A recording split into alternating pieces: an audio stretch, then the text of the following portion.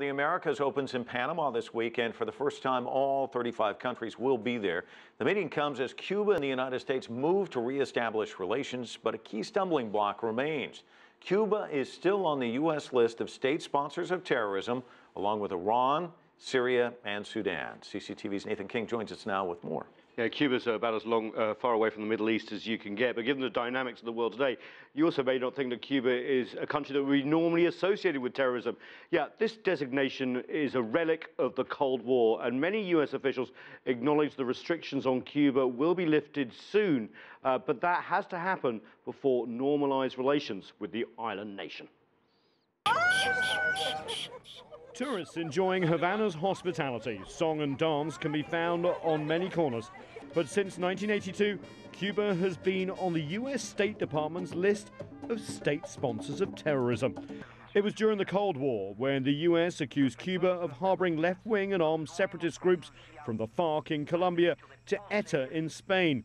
The designation of being a state sponsor of terrorism resulted in some serious sanctions against Cuba. Arms exports and sales are banned.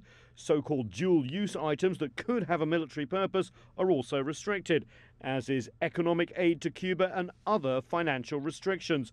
Those financial restrictions, along with the US trade embargo, mean Cuba is essentially shut out of large parts of the US and therefore global financial system.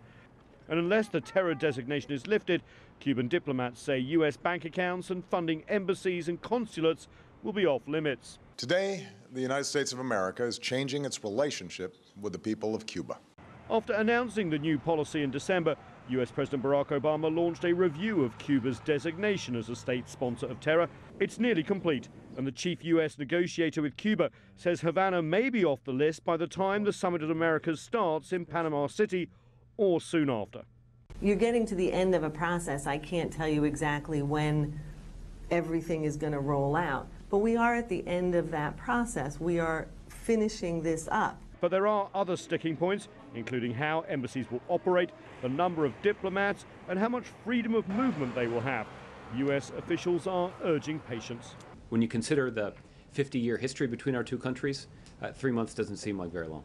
For Cubans, they say getting off the list would be a signal of respect from Washington. And we have to understand those differences. But at the same time, uh, we need to acknowledge the importance of uh, getting a, you know, in a normal, in a civilized relationship, acknowledging those differences and respecting them.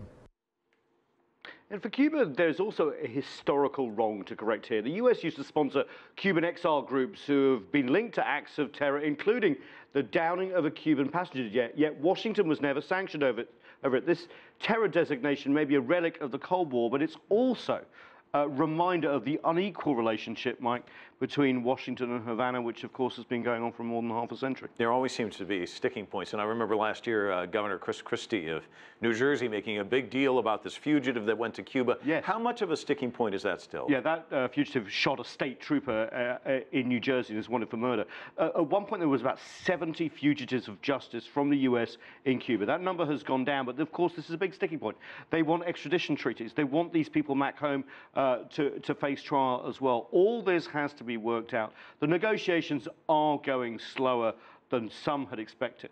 Uh, but after 50 years of pointing fingers at each other, at least they're sitting down at the same table. This announcement may not come diplomatically in time for the summit of the Americas, uh, but it's going to happen soon. A slow plotting process, I guess. Yep. Nathan, thanks so much.